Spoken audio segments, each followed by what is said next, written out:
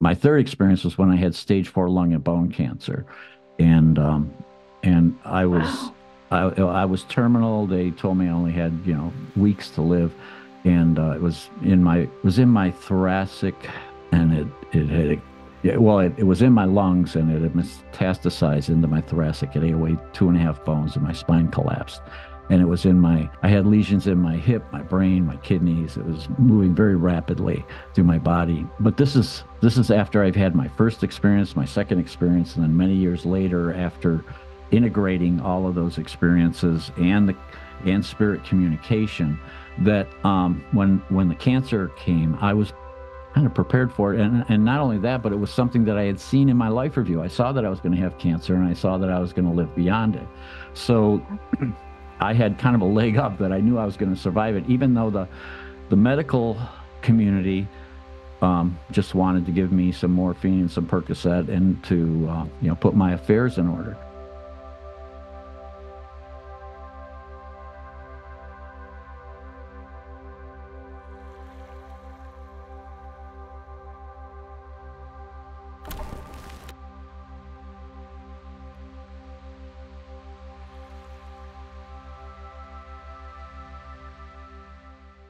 Welcome in. I'm Kimberly. I'm so glad you're here today. The guest we have had an experience that I just mentioned is my oh hell no moment. It's so exciting and fun and truly, truly interesting. I'm excited that you're here for it. If you're new here, I hope you're enjoying this content. Make sure you hit that subscribe button and hit the notification bell so you don't miss any of our upcoming videos. And if you want to keep track of what's going on in the world, but it feels a little overwhelming, you might want to sign up for our Friday morning email newsletter. The link is in the description box down below. Every Friday morning, we send out a very short, very sweet, but informative email newsletter containing all the things that we find are important going on around the planet. It's short, sweet, super free. Link is in the description box down below. I think you're going to love it. And today we're talking with near death experiencer David Bennett. Welcome in, David. How are you? Hi, Kimberly. Thanks for thanks for having me. I am so excited to talk with you because I want to dig deep into your experience, which was about four years ago. We just determined that. And of all the experiencers I've talked to, yours was like my personal oh hell no. I just don't even know if I could manage surviving through it, but you did. Why don't you go ahead and take us back to what happened to you? And then let's dive in after that and talk about how a person goes about integrating this into their life. Yeah, well, it was just a little over 40 years ago in 1983, actually March 3rd of, of uh, 83. And um, it was off the California coast. There was a, a terrible storm uh, coming into the coast, and, and we were out. I was uh, chief engineer of a research vessel, and we had just evaluated a new ROV, a remote operated submarine. And we were we were trying to beat the storm into the harbor, but we didn't quite make it. The harbor master refused us entry because there were 25 to 30 foot breakers at the at the seawall.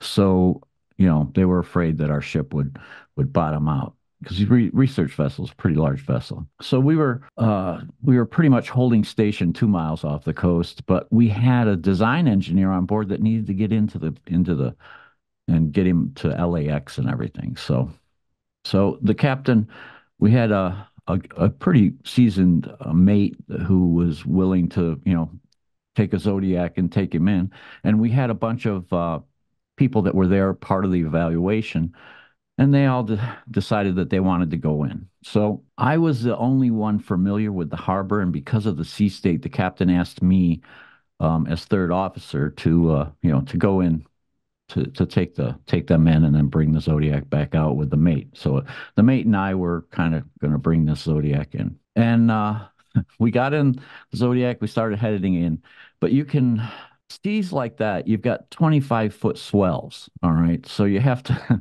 you can't see over a 25 foot swell. It's like a two story building. So um, you kind of roll up onto the top of a swell, take your bearing, and then go down the trough and, and up on top of the next swell and, and do it all over again. Well, it was really, it was this dark and stormy night, kind of like, you know, not to be. you know, it was a dark and stormy night. And so we lost track of the harbor buoy, you know, from two miles out. So we just decided we're we're going to go in and do a beach landing. You know, we'll we'll get this Okay, I in. wanted I want to jump in right here and ask you, wasn't anybody saying maybe this is not a good idea? Maybe we should just wait until you the know, storm clears? we're we're we're all pretty seasoned, you know, um, and and we use this uh, Zodiac in in to retrieve uh, our submarine in rough seas and stuff like that before, so we weren't all that concerned about it. And besides that, most of us were adrenaline junkies anyway, so um, you know that didn't that didn't help. Uh, but I we would no, imagine that that we was the case. We were, I mean, we were concerned enough that this night we actually went down to the bosun's locker and we pulled out the life vests. And those life vests had been down there for a long time. And they were old World War II Mae West, you know, the big orange puffy uh, pillow type uh, life vests, you know. And um, since the Coast Guard has since banned those life vests.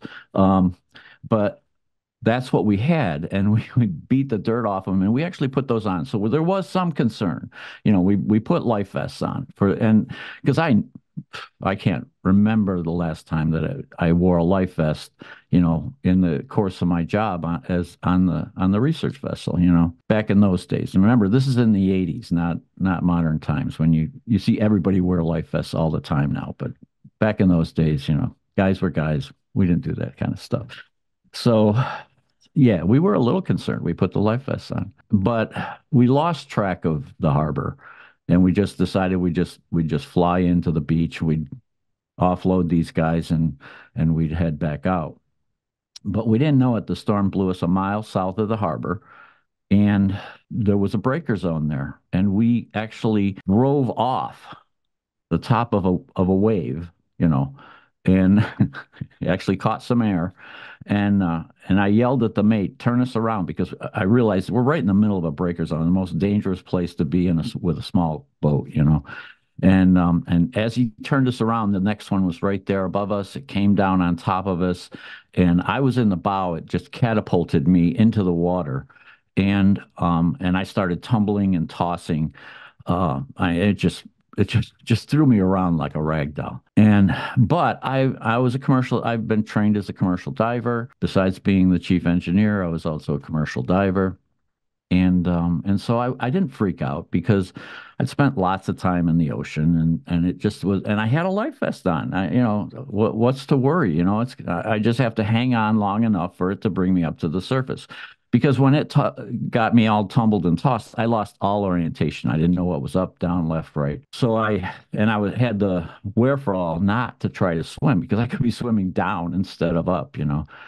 So I um I just hung on to the Mae West and and waited.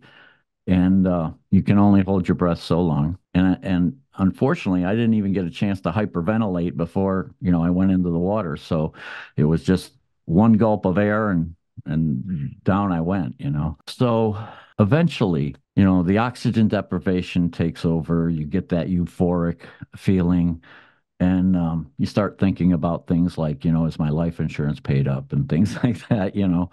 But then you you breathe and and I drowned. And but the minute that I breathed in salt water, I popped out of my body and I found myself not so much popped out of my body, but popped out of this reality 'cause- because I found myself in this absolute darkness. In in near-death research, they call it the void. It was absolute darkness, but it was kind of an interesting place because it was quiet, it was calm. I just came from the sea that is just rolling, right?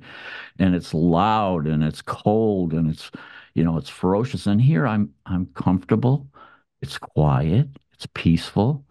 And it feels like i'm really not alone. It feels like yes it's absolute darkness and i'm totally isolated but i feel like everything is present at the same time. Um it's it's kind of a strange feeling. And so um, I was curious, like, you know, what is this? This this is this goes way beyond my diver training where they turn the air off and you're starving for air, you know, and um and and and so, you know, it's like this is this is something very, very strange. And so I was in in really, really curious many times the people that experience this darkness, this void, um, many times they're frightened because it's, it's frightening. But I had just died this violent death. And so for me to be in this peaceful place, it felt very, you know, very calm, peaceful, and and I, you know, and just quiet and and I was no longer no longer my body was no longer being trashed because I was outside of my body and I was trying to figure it out. And then I saw a light and the light just drew me. And I can't, I, to this day, I don't know if I moved toward it or if it moved toward me, but there was this motion of moving toward this light. And as I got closer to the light, the light was appeared to me as these millions of fragments of light and the lights were all moving in unison. You know, it, it's like when you see a you know a flock of birds when they're in the fall when they're all kind of getting ready to migrate and they all kind of swoop around and they all make a turn at the same time and this and that. Well, think of it as all these shimmering fragments of light doing the same thing, but but with multiple colors, and it was just absolutely awe-inspiring. And I kept getting closer and closer. And as I got closer, I started feeling these waves of love, is all I can say. It, was like a warm embrace of love that just kept supporting me and bringing me closer. And I tried to look, I actually tried to look at myself. And when I did, it kind of surprised me because um, the the way we see on the other side is not the way we see with these physical eyes. It was like uh, suddenly I I was turned around and looking at myself, and I was a fragment of light. I was one of these fragments. And as I got closer, three broke away, three fragments broke away, and they welcomed me home. And that was, I mean, I've never felt anything so loving in my entire life as the love and and support that they were, you know, sending me to be home, to be welcomed home. And eventually a dozen came and we were all together. And I was just, I mean, I was feeling pure bliss, pure joy of being in the presence of what I consider now my soul family, this fam, because they felt like family to me. And then they communicated to me that we were going deeper into the light. And as we did, we went into this area that was like a giant bubble, kind of like a sphere. And in there, we started to uh, relive my life. So in NDE research, they call it the life review, but it's more than just a review. It's it's you get to see all of your life, but not just through your perspective, but through everyone you've ever, you know, interacted with, all of your interactions. And you get to feel their feelings, feel their, you know, it, it's actually like a full immersive experience through another person. But you do this and and and as you're doing this it's like your consciousness is broken into these multiple streams of consciousness and you're experiencing it in all this way. It's incredibly humbling um, to experience your life through someone else's eyes because you get to see who you really are um, and and how people you know perceive you and and that sort of thing. And um and and you know I was a pretty brash young man at that point because um, I had become the I had a I had a pretty brash philosophy. My philosophy was you cut your swath through life and you survive because I had a rough childhood where I you know was thrown from one family to another to another. So I never really felt like I had a sense of family. I never felt like you know I belonged anywhere. And so I felt like nobody was looking out for me. So that was my philosophy was you cut your swath through life and you you survive. And so that's pretty brutal philosophy when you think about it, because it doesn't take anybody else into consideration. It's very self-involved. And so to see me interacting with people in this way, um, in this loving environment where I'm being loved and supported by my soul family, and they're experiencing it the same way I am, I actually felt there were periods in my in my life that I was ashamed that they had to experience it that way. Um, I was kind of a brutal guy, but they loved me, they supported me, and we got through this. So um, it was it was incredibly humbling. But then we got to a point where it wasn't a part of my life. And I got I was a little disoriented because I didn't understand what was going on, but I was actually I know now that I was actually previewing or seeing my potential future. But it wasn't as crystal clear as the uh, life review part of my life. This preview was more like looking down a corridor. And So kind of you a, a timeline experience, like almost you were seeing a potential timeline. Yeah, but it was like it was forward looking, not linear. It was really it was like looking down a corridor, but on each side, the center was was pretty clear. But off, the more you went off and and to the right or to the left, there was no right or left, up or down or anything like that. But once you went away from the core pathway, it would it was a little out of focus but I got the impression that, you know, I could go this way if I wanted, and but I would be directed back to this center. I could go this way if I wanted, but I would be directed back. So I got to experience a few things there that I had no relationship to. But my family loved me, they supported me. We got through this.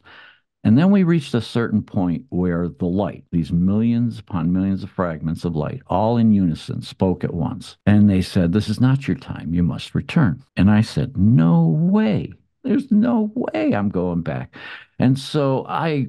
I've got a family that loves me. I'm feeling loved and supported like I've never felt in my entire life. That body of mine is just cold and broken and uh, there's I have no desire to go back to that. Life is tough, and I just you know. And so I argued with what I perceived as God, and um, the light spoke one more time, and it said, "You must return.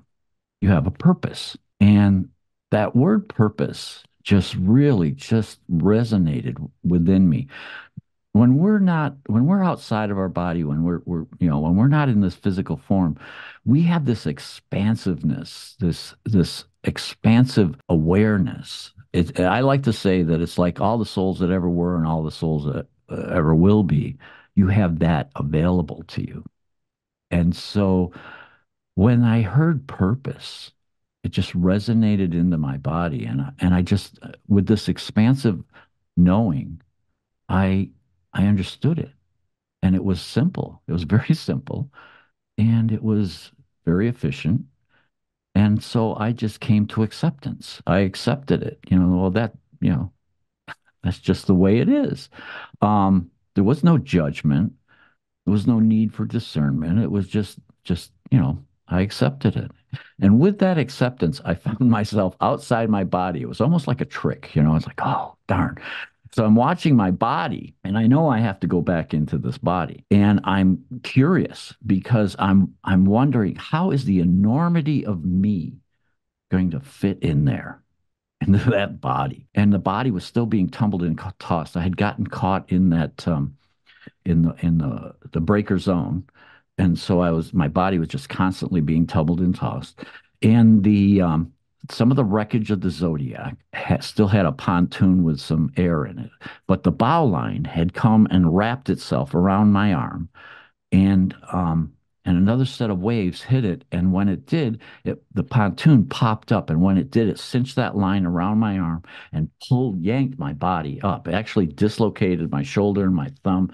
But I didn't feel anything. I was outside my body just watching this, observing it. And there were three of my soul family that originally greeted me or were with me. And we were all watching as my body got yanked up to the surface. And then it got tangled up with the wreckage, and the waves kept pounding the body.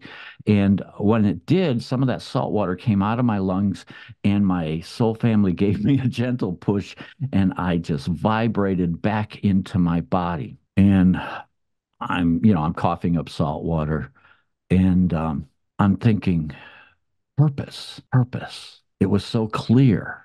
And now it's it's like it was like sand in your fingers. It was like this, it was just disappearing. And I and I was like, purpose, purpose. And and at the same time, I'm having a really hard time. Now I'm used to being in the water and and I don't have trouble staying on the surface, but I feel like I'm being pulled down, pulled down. I'm having a hard time keeping my head above water. But the funny thing, when we come back, it feels like we're half here and half there. Yeah. And so I still had this expansive knowing, and I knew there was something wrong with my life vest. And I popped it open, and the, the canvas uh, shell had dry rotted, and and the fiber filling had actually saturated with salt water, and it was actually pulling me down rather than buoying me up the way it was supposed to. So I just threw it off, and then I was able to, you know, stay up. But my friends that were in, you know, my mates that were in the in the boat with me, they had stayed there and and one of them had hung onto a flashlight and he was sweeping the wa water and they were calling out for me. And I couldn't really yell back to him because, you know, when you when you we just, when you breathe in all that salt water, just your larynx are uh, kind of inflamed. So I just squeaked and squawked, but they found me, and and we all rallied around the wreckage, and we we swam that last mile in into the beach. Wow, what an, what an experience, just both physically and metaphysically. Yeah, there was a lot. There, there, metaphysically, there were some things that haunted me for immediately, right away. The the things that like like okay, what was supposed to save me, the life vest, actually drowned me instead of saving me. But I was saved by the bitter end of that bow line, and it just you know. So what was supposed to s- save me killed me, but I was saved by the bitter end, and that just played in my mind for just a, the longest time. And um and then you know you come back and you just want to like what purpose? You know so the the thing that that I really and it, and it frightened me too because when you come back sometimes you have gifts. You know not everyone but but many experiencers receive kind of gifts It didn't feel like a gift to me at the time uh, because I was an engineer. I saw things in black and white, and suddenly I could see auras. Suddenly mm-hmm. I was receiving information that came from, you know, nowhere, you know, and and then I could, when I looked into someone's eyes, I could see their light fragment. I could see their Oh, essence. And wow. that felt incredibly intrusive to me. It felt like I don't have the right, without your permission, I don't have the right to see that. You know, I if you give me permission, I should be able to see. So, so I was so conflicted. I didn't know because my whole worldview just got blown out of the water. Excuse the pun, but um, but I just I was I was oarless. I was adrift and oarless. I didn't know what to do. You know, Yeah. It was it was incredibly disorienting to know, you know, how do I get my life back? Because all of those things, all the metaphysical uh, aspects, you know, really frightened me. Ta- All right, so I'm curious, you know, you you're a young man, Yep. you're a macho dude, adrenaline junkie, Yep. plus an engineer, so you're very linear. So yeah. you've got this whole life put together with these attributes that would not necessarily easily accept the new experiences that you had. Did you remember right away? And once the memories started coming in, how on earth were you able to put it together? Because you just saw something completely different than the life you've been living. Yeah, I remembered um right away I remembered, you know, I remembered the the darkness to light. I remembered the feelings. I remembered the Soul family greeting me and welcoming me home. I remembered glimpses of the life review, not a lot of it at first. That took time for that recall to come back. I'm sure it was held in my cellular memory, but it took a while for it to surface. And then the um, you know, the the coming back was was very, very vivid. The watching my body was very, very vivid memory afterwards and and the purpose the sense of being told that i have this purpose you know that and that that started the journey i would have to say that that just that word purpose really planted a seed into my my being that uh, you know, kind of drove my drove me. But the rest of it was very scary. I wanted my old life back. I didn't want this because I didn't know what to do with it. I'd never had any, I'd never heard of any of this stuff. Like the auras, I called it life force energies because in my mind, because I didn't know what it was, but they were amazing and beautiful. but but it was it was just uh, you know, it was like am I going crazy? What I couldn't see this before. Is this, you know, did I, you know, did something happen, you know, that I, you know, you know, that I, you know, did I receive a blow to the head or something that, you know, that I'm suddenly seeing things, you know? Um, and I'm and I'm and the information I did what probably any what good engineer would do. is um, I would receive this information. It wasn't anything that I'd learned in school, wasn't anything I experienced in life. So what do you do? I would test it. Is this real? Is this veridical? Is this something that, you know, I can rely on? Is it truth? And um and over the course of years, I found that it didn't even take years, really. I found right away that, you know, this information that would just come to me would just, it was, you know, it was real. So was it like a download, like you would get into an ex a situation first, or yeah, at person was first it just like was, boom? yes, it was. At first, it was just like this download. And sometimes it was, um, sometimes it was visionary, sometimes it was actual, um, just knowledge, you know. Um, and when it was visual, you had to interpret. That was always fun. Um, but then, you know, um, but the knowledge was was you know quite alarming because it was and it and that the accuracy was what what astounded me. So you know had that going on, had the the auras and everything, but the part about you know arguing with God and the soul family, I didn't want to face that. I really didn't. I tried to push that away. I really tried to push that away, and I took what I felt was I was comfortable with because the life review shows you enough of yourself that you really know who you really are. You get to see who you really are. And I didn't like what I saw. Okay. And so, but I, but I came to acceptance. I could accept that this is who I am.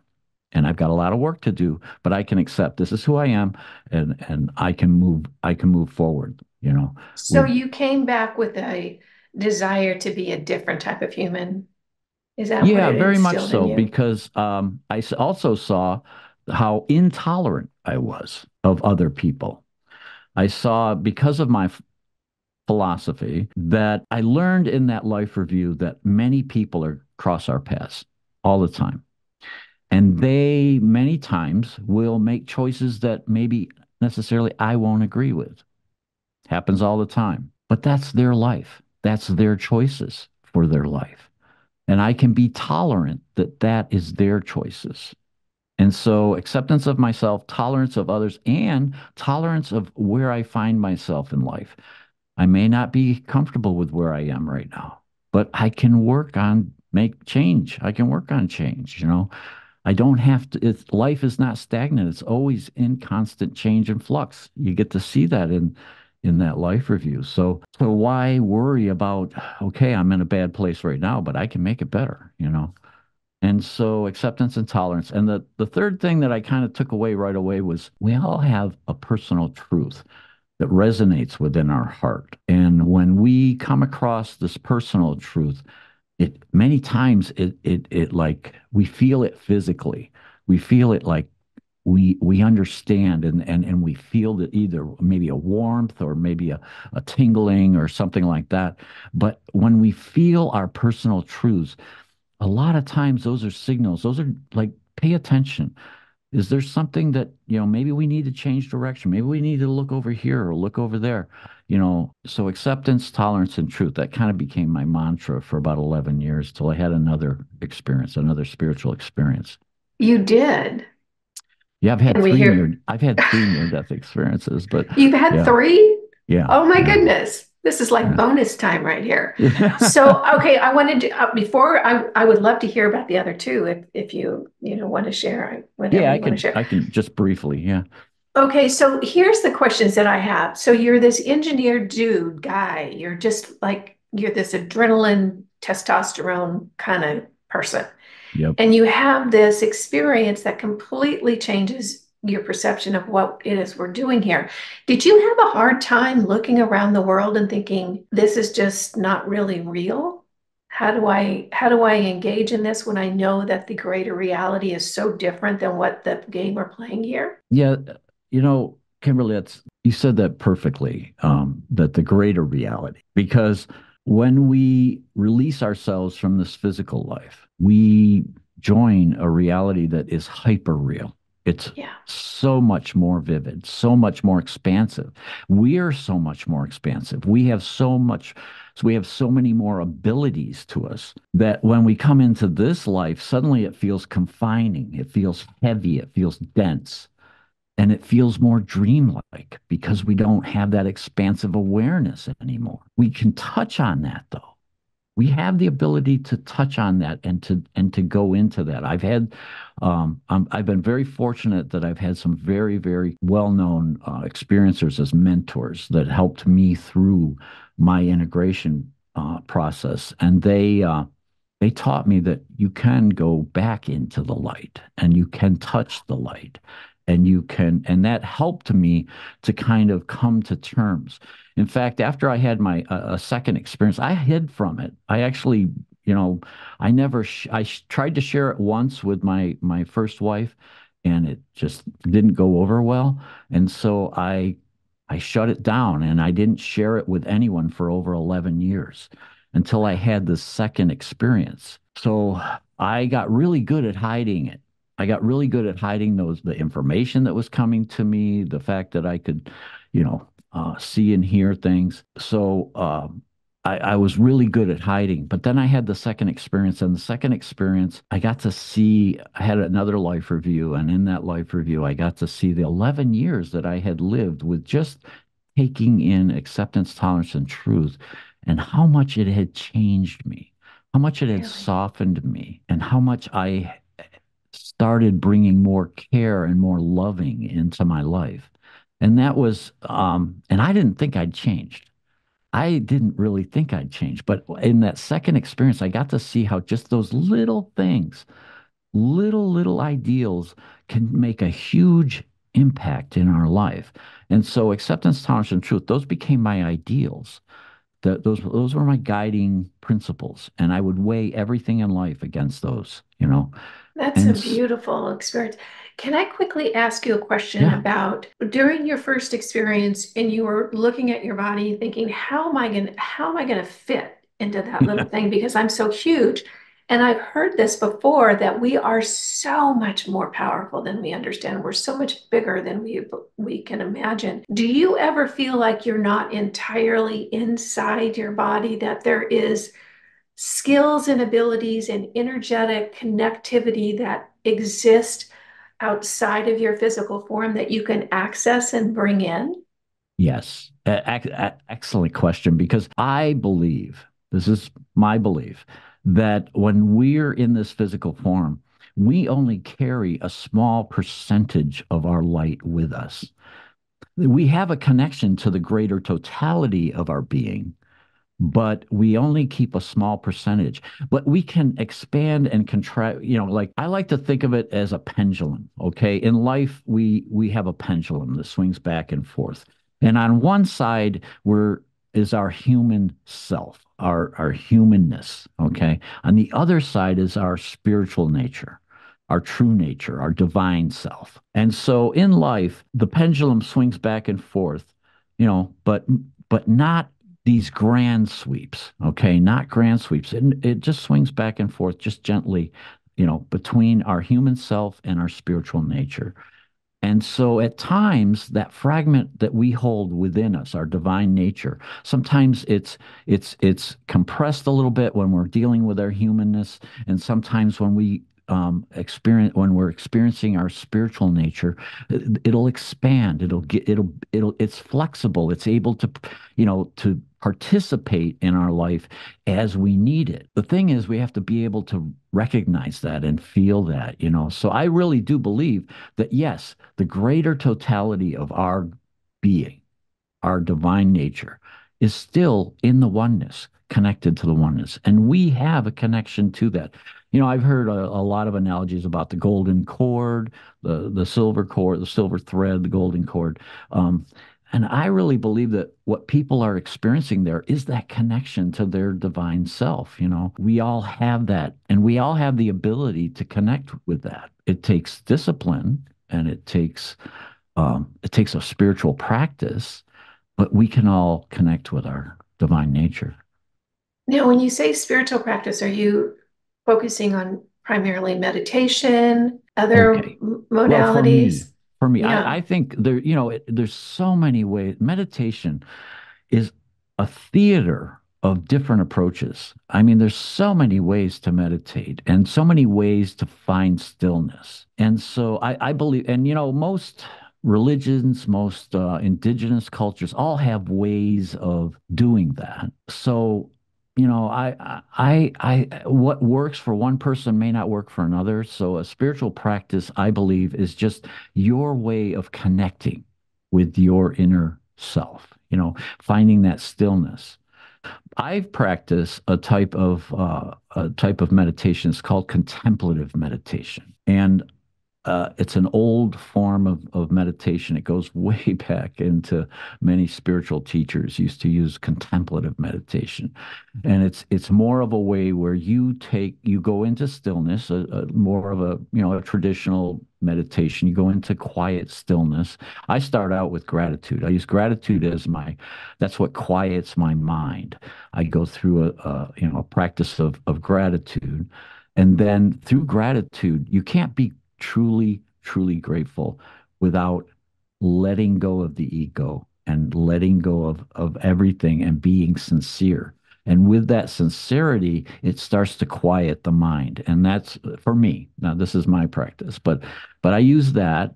And then um, from that stillness, then I usually will, well, again, it takes discipline and it evolves. Uh, meditative practice evolves throughout your lifetime. But um, I started with, then I would put a question out into the stillness. I would just put this little question out there and I would allow the universe and and and my soul family and my higher consciousness to to focus on that point on that on that that question and then allow that contemplative environment then to to you know evolve. Now I I go into the stillness and and the point that I put out there is what what? I don't put an actual question out anymore. I just, what is out there? What do I need to hear? What is it that, you know? So I just, what? And I allow whatever to, you know, to evolve. And so that's part of my type of meditation. It's a little more, I wouldn't advise it for someone who's just trying to start out. First, just try to quiet the mind. You know, gratitude's a great tool for that. Using gratitude is a great tool. Breath exercise is another great uh, mantras, you know, uh, using your breath and breathe in and breathe out a mantra. Um, Thich Nhat Hanh has some amazing breathe in, breathe out kind of, you know, meditations and things like that that'll get you into that quiet stillness. Now, you mentioned you had two additional NDEs. You kind of sort of glossed over the second one. Why do you think that you've had the two additional ones after the profound first one? I, you know, I, I deal with, uh, I talk to a lot of experiencers because, um, because I've been involved in the experiencer community for quite a while. And um, it's not uncommon. It's not uncommon for experiencers to have more than one because it's like we've opened a doorway. And so now we're more receptive to spiritually transformative experiences. They don't always have to be a near death experience. Um, it just so happens, I guess I'm I'm kind of dense. I'm a I'm a you know I'm a guy. I always push the envelope, and so I I guess I had to have three. But I've had a number of other spiritual experiences as well. So and the each one builds upon the next, so as to you know, and it grows in our in our ability to open up and and and awaken you know that sort of thing. So yeah. so i i, I think that that's kind of the process is that um, many people and not just myself i'm trying to think um, P.M.H. once told me she has had uh, i don't know she's had like five or something. That is crazy.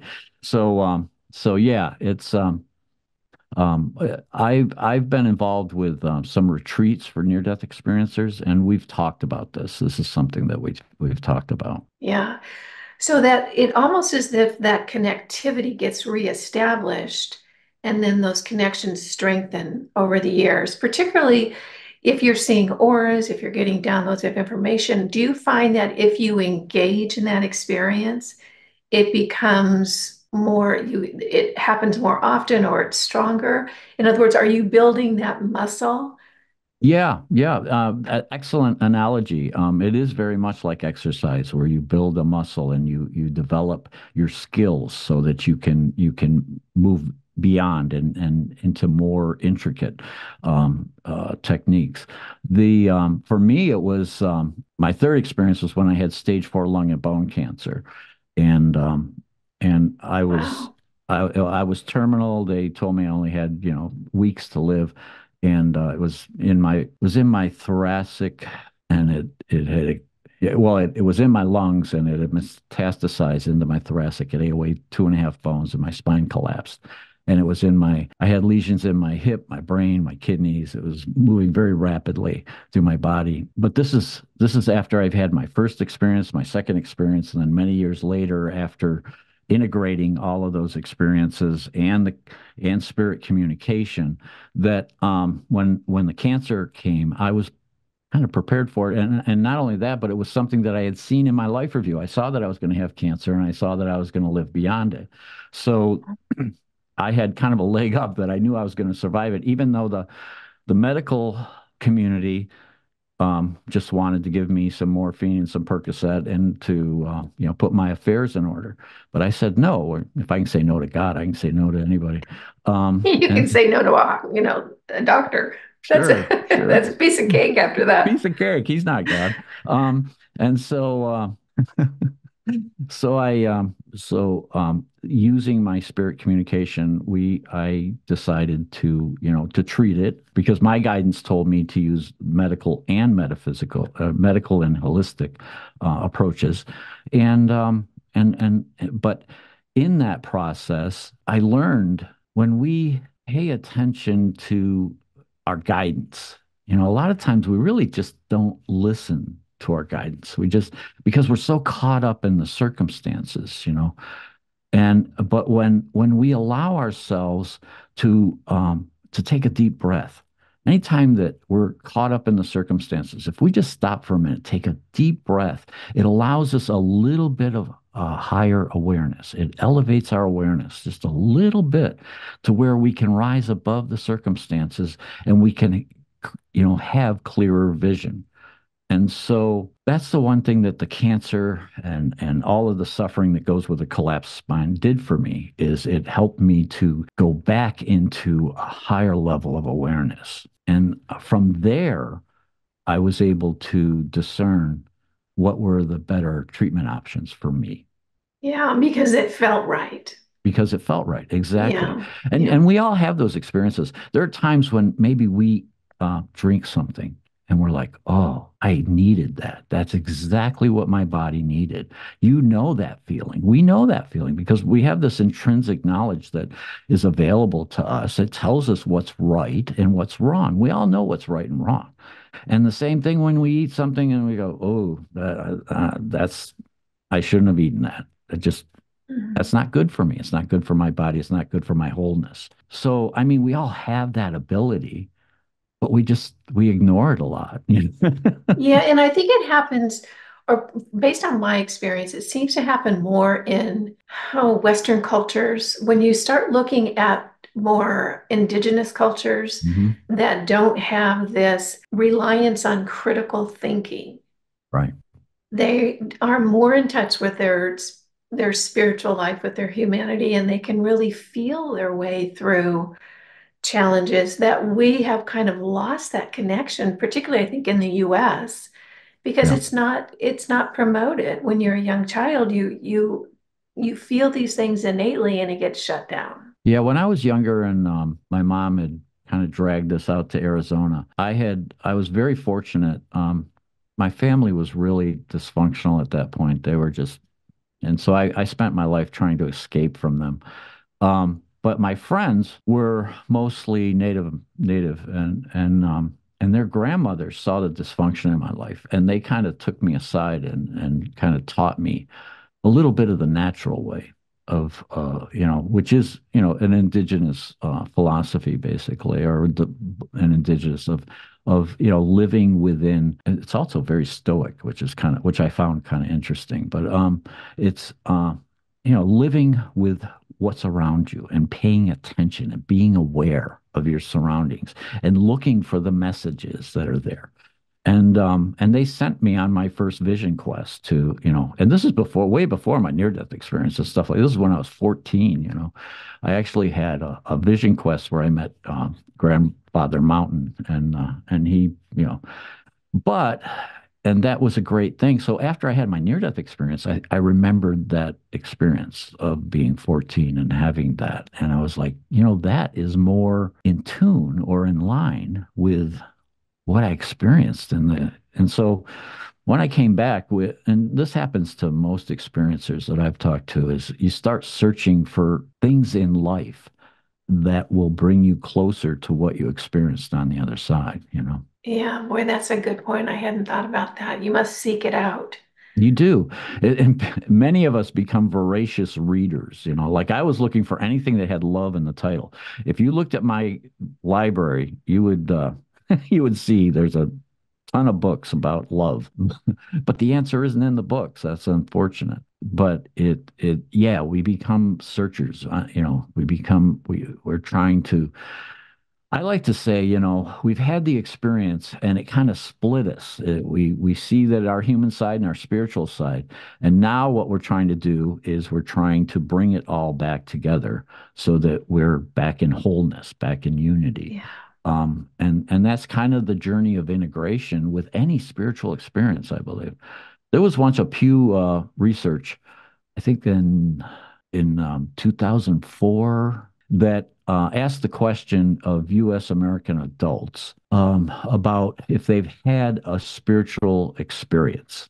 And over, it was 57.4%, I think, was, was of American adults have had some form of spiritual experience. And you think about it, that's over half of the US adults, all right, have had some form of spiritual experience. But there's no process for us. There's no process to Yeah. integrate it. There's no there's no infrastructure to deal with it, right? There's there's no support for it either. There's no social support. None, none. You know, I mean, Mm. and and if you try to take it, I, I have a number of experiencers that have tried to take their experience to their religious leaders, and they've been ostracized. I, I, I- and it astounds me, you know, it, it just if I'm just floored by that, that that you know, and so so many times um, people that have had some form of spiritually transformative experience are are left alone to find their own path, to find their own answers. Yeah. But nowadays with um, you know, with internet, there's more more available. There's many communities online that you can tap into. Um, there's programs like what you're doing here, Kimberly, that that helps, you know, bring the message out to the to everybody. You know, you don't have to be alone. I felt alone for 11 years, and I don't want other experiences to feel that way. So I'm an advocate for experiencers to, you know, to integrate their experience. Yeah. Do you think that this is the direction that humanity is going, integrating both the the broader spiritual reality of what we are into this human form? I just I ask because it seems like we're just in this sea change on Earth right now. I mean, things Yeah, are I you look around and you look around at, at everything that's coming at us right now, and you would say no. But I feel the opposite. Um, the communication, because I talk to a lot of people, and a lot of people reach out to me, and the message is, or the feeling that I get overall, just you know, summarizing, is that you know people are looking for their spiritual nature. They they are, and so I believe that it's just below, it's subsurface, and it's percolating up. You know, I think because there's a lot you can find, you can find what you're looking for a lot easier now than you could back in 83 when I had my experience. yeah, It's a yeah, lot easier to find community. Um, even though it may not be community, you know, there are there are a lot of pockets, even here in the United States and all around the world, where um, where you you know you you feel isolated. You're going to feel isolated because you you know.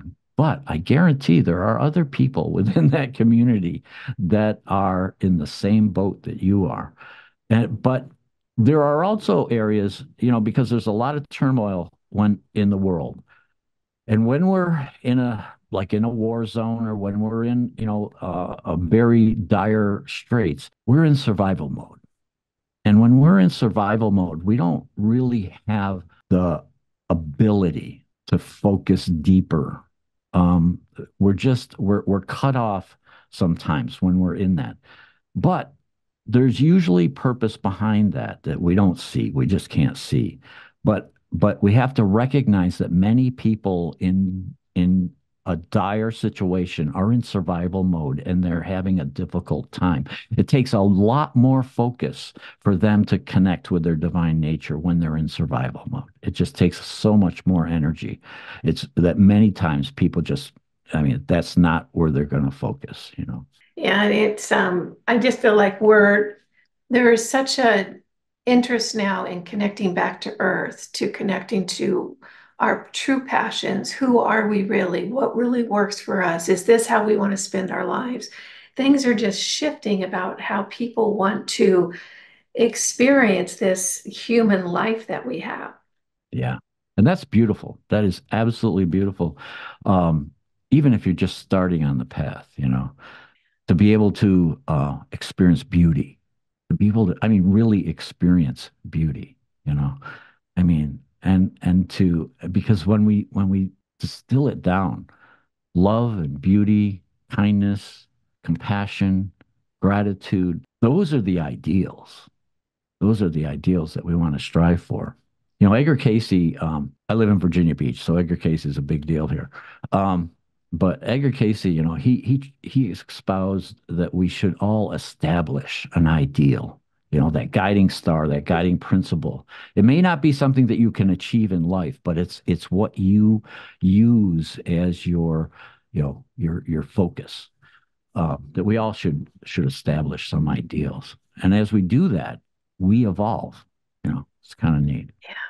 Yeah, that's a beautiful, you put that so beautifully. David, thank you so much for joining us today. This has been fascinating. Oh. And I would imagine the doctors are baffled. Ah, they say, I don't know what you're doing, but keep it up. Keep doing it. Yeah. Wonderful. Well, how can we find out more about you?